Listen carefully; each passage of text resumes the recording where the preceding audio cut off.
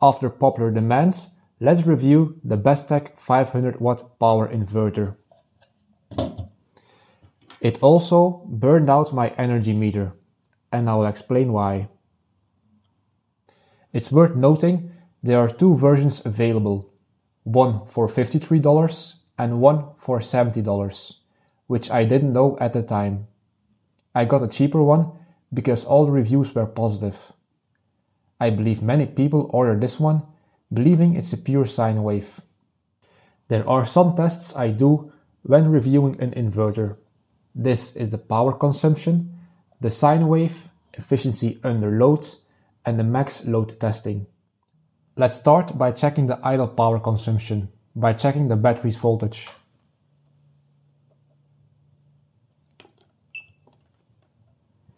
We have 13.15 volts. Let's now check the, the current. Let's zero it out.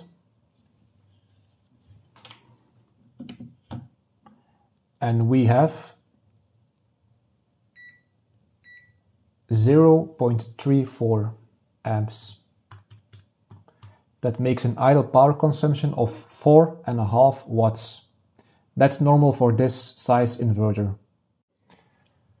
Let's check the sine wave with uh, this oscilloscope.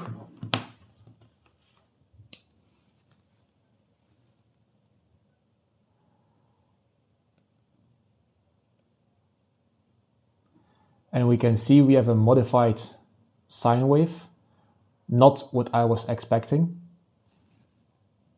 The sales page only shows that it's a modified sine wave at the very bottom.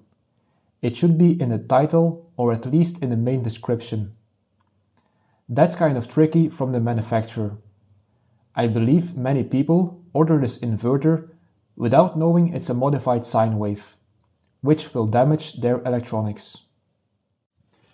The manual says it's 85% efficient. So let's test it with a 250 watt load. Let's measure the power going into the inverter.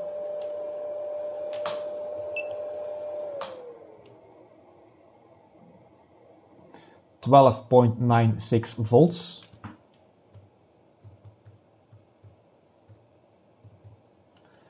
And the current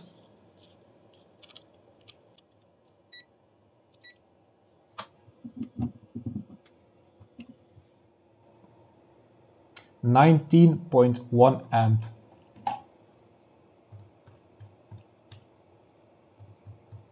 The output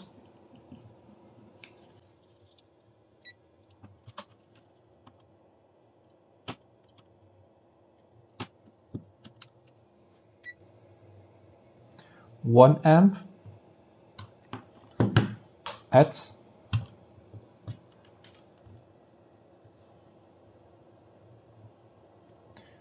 two hundred twenty seven volts. We have an efficiency of 91% for a medium sized load. That's quite good. Let's test the max load of the inverter which is 500 watts. This hair dryer has a function where it only turns on the fan without heating. And then I will turn on the 250 watt load and the combined load will be about 500 watts.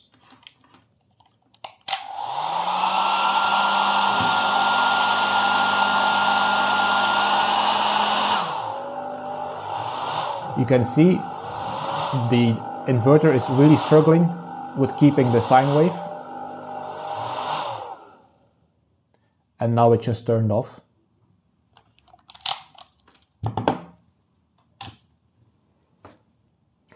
And I expect that the modified sine wave burned out the energy meter.